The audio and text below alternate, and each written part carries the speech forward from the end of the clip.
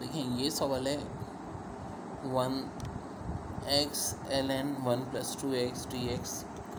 अब देखो, यू जो है, एल एन को मानो अगर अलजबरिक फ़ंक्शन दिया है, वी एक्स हो जाएगा।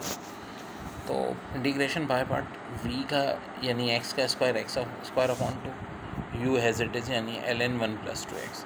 Minus integration का निशान। हाँ जी, l n one plus two x का derivative two upon one plus two x. और x का integration x square upon two अब देखो, ये तो बड़ा आसान है।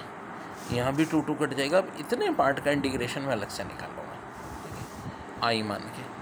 अब यहाँ मैं ट्रिक लगाता हूँ अपनी। फोर से मल्टीप्लाई फोर से डिवाइड कर लिया।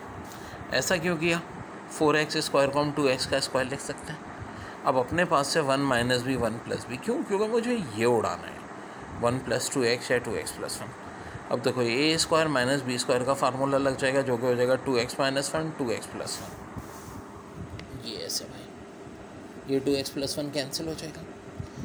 अब रह गई बात इसकी वन की तो भाई वन के साथ तो कुछ भी मुश्किल नहीं होता। लीनियर पावर है।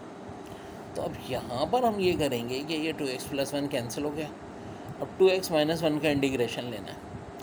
तो एक्स का integration x square upon two होता है। टू टू फिर कैंसिल हो जाएगा माइनस एक्स और ये plus l n two x plus one अब इशू ये है कि इन चीज़ों को हम पुट भी कर सकते हैं। ठीक है? और अगर यहाँ लिमिट्स अप्लाई करनी है, जैसे कि वन और ज़ीरो तो देखो यहाँ तो बड़ा आसान था। One square upon two one by two ठीक है? एल एन एक्स की जगह one one plus two three l n three यानी l n three upon two इसी तरह इतने पार्ट में भी आप पुट कर सकते हैं। एक्स की जगह वन पहले, और फिर ऑफ़ कोर्स एक्स की जगह ज़ीरो ज़ीरो में तो ज़्यादातर पार्ट ज़ीरो ही हो जाएगा।